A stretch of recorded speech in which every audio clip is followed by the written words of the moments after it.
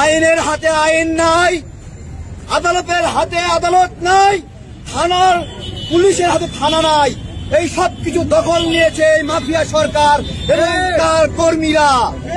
আমি বিচারক মহোদয়কে জিজ্ঞাসা করি, তুমি যে গ্রেপ্তারি পরোয়ানা জারি করতে চাও, তুমি কি দেখেছ যে ব্যক্তি মামলা দিয়েছে, সে নিজেই একজন হামলাকারী? সেই খবর রাখি নাই। বিচারক সাহেব আপনাকে জিজ্ঞাসা করতে চাই, আপনি কার আন্ডারে চাকরি করেন? সেই নেত্রী শেখ হাসিনা দুই বছর গণভবন থেকে বের হয় নাই ভয়েতে। সেই দুই বছর করোনা সংকটের সময় এই বিপিনুর রাস্তাঘাটে ঘুরে ঘুরে মানুষকে খাওয়াইছে এই কার্যালয়ের সামনে আমরা রান্না করে খাওয়াইছি তুমি বিচারক, কয়েকটা পয়সা বেতনের লোভে তুমি আজকে রায় দিচ্ছ। নুরুল হকের নামে গ্রেপ্তারি করো না। ভালো করে শোনো। চার বছর সময় নিয়েছি। এই চার বছরের মধ্যে বাংলাদেশের ইতিহাসে যে কোনো রাজনৈতিক দলের চেয়ে বড় রাজনৈতিক দলে আমরা পরিণত হয়েছি। এখানে জীবন হাতে নিয়ে নেমেছি। ফাস্তামি করার জন্য নয় বাংলাদেশের মানুষের ভাগ্য পরিবর্তন করার জন্য এখানে এসেছি।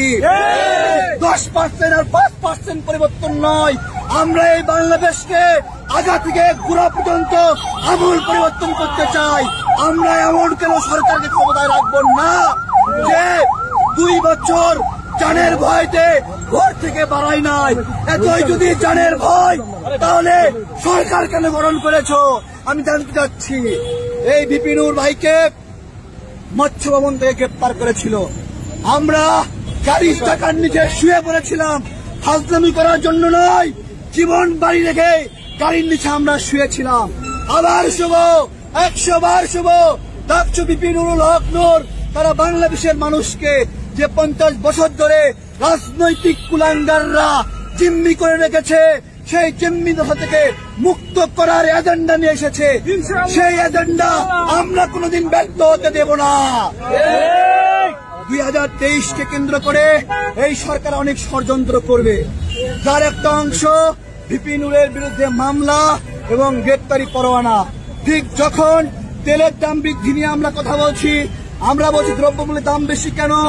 আমরা বলছি অকটেন এবং ডিজেল পেট্রোল বাংলাদেশে উৎপাদন হলে কেন একশো পঁয়ত্রিশ টাকা দেব? ঠিক সেই সময় আমাদের মুখ বন্ধ করার জন্য এই মামলা দেওয়া হচ্ছে। তোমার মামলার রহস্য আমরা জানি, বুঝে গেছে, বাংলাদেশের মানুষ বুঝে গেছে। এই আদালত মাসের পর মাস বন্ধ থাকে, একবার গ্রীষ্মকালে বন্ধ হয়, একবার শীতকালে বন্ধ হয়, একবার বসন্তকালে বন্ধ হয়। এই আদালত কেমনি চলে? হাজার হাজার, লাখ লাখ মামলা ঝুলে আছে, মানুষ ন্যায় বিচার পাচ্ছে না। আর তড়িঘড়ি করে গতকাল প্রোগ্রাম, আজকে নিউজ করায় বিপিনুরের নামে গ্রেপ্তারি পরোয়ানা। ধরা বিপিকে আমরা উপরে থাকব না ইনশাল্লাহ